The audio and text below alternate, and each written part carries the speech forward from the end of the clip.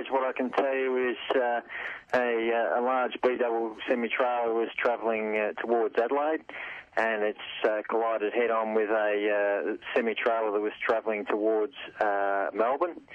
after that initial impact, a third semi trailer has collided with the with the Melbourne bound semi trailer. Um, subsequently, all vehicles caught on fire, and um, it's taken some time uh, to extinguish the fire, and uh, we're now trying to uh, establish what exactly has occurred. Sergeant, do we know why uh, it caught fire so easily?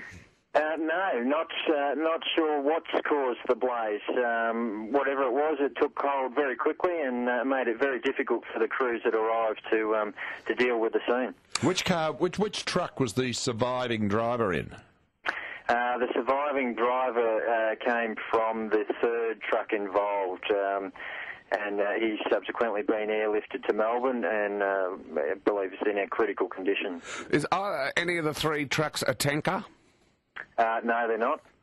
Okay, one was described as a car carrier. Is that accurate? Uh, look, again, uh, this stage that's uh, still being uh, established as to exactly what the uh, the vehicles were. How uh, how long will the road be closed, Sergeant? Uh, look, I estimate the road's going to be closed for several hours from here. We have the um, Major Collision Investigation Unit on their way from Melbourne. Uh, obviously, they're a couple of hours away, and then uh, the investigation, once they do arrive, takes some time to work through the uh, the debris that we do have to try and establish exactly what has occurred.